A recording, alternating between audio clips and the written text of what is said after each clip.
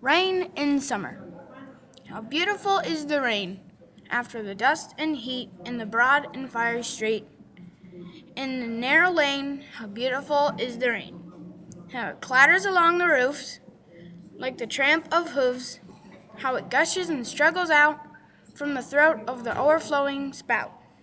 Across the window pane, pours and pours, and swift and wide with the muddy tide, like a river down the gutter roars like the rain, welcome the rain, by Henry Wadsworth Longfellow.